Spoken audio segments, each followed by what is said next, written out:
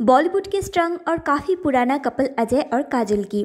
कई दिनों से उनकी डाइफोस की बातें चर्चे पर है, लेकिन उन दोनों ने इतने साल शादीशुदा रहने के बाद आज डाइवोर्स के रास्ते पर चल पड़ी। आज के वीडियो में आपको काजल और अजय देवगन की डाइवोर्स के पीछे का रियल रीज़न के बारे में बताएँगे। तो वीडियो को एंड तक देखना और चैनल को ज़रूर सब्सक्राइब कर लेना।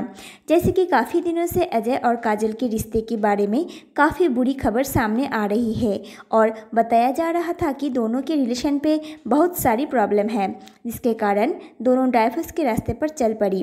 रिपोर्ट से पता चला है कि आए दिन काजल की मूड कुछ ठीक नहीं चल रहा है। यहाँ तक कि उनको रोते हुए भी दिखाई दिए। उनकी डाइवोर्स के पीछे कई सारे रीजन्स सामने आए हैं। तो पहले उन रीजन्स को जान लेते हैं। काजल और अजय देवगन लगभग 26 साल से एक दूसरे के साथ हैं। एक दूसरे को बहुत अच्छे से जानते हैं और शादी से पहले भी वे दोनों दोस्त रह चुके। अब शादी के इतने साल बाद अगर अलग हो जाते हैं तो इसके पीछे तो काफ़ी बड़ा रीजन्स होंगे। इस बारे में काजल और अजय कुछ भी नहीं बोलना चाहते हैं।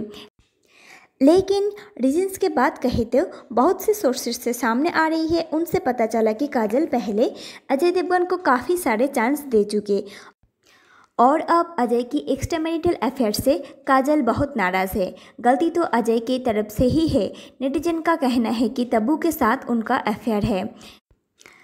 यहाँ तक कि काफ़ी दिनों से उन दोनों को सेट पर ऑन कैमरा हँसते हुए बात करते हुए नज़र आते थे, लेकिन ऑफ़ कैमरा वे दोनों बात नहीं करते थे। और काफ़ी दिनों से अजय और काजल अलग अलग गाड़ी में आते थे और अलग अलग गाड़ी में घर जाते थे। लेकिन कोई भी क्लोज सोर्स से नहीं पता चला तबू के नाम। हमें नहीं पता कि तबू इनमें इन्वॉल्व है कि नहीं।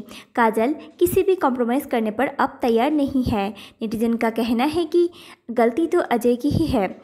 और अब ऐसी क्या गलती की है अजय ने? और क्यों काजल काफ़ी नाराज़ है उनसे? ये तो अब उन दोनों ही बता सकते हैं। खबरों के अनुसार तब्बू का नाम बार बार सामने आ ही जा रहे हैं, लेकिन कोई भी क्लोज सोर्स से ये बात कंफर्म नहीं किया है। लेकिन सुनने में आ रहा है कि इसके पीछे अजय की ही सब गलती है, इसलिए काजल और अब कोई भी कॉम्प्रोमाइज़ करने के लिए तैयार नहीं है, इसलिए वो डाइवोर्स के रास्ते पर चल पड़ी।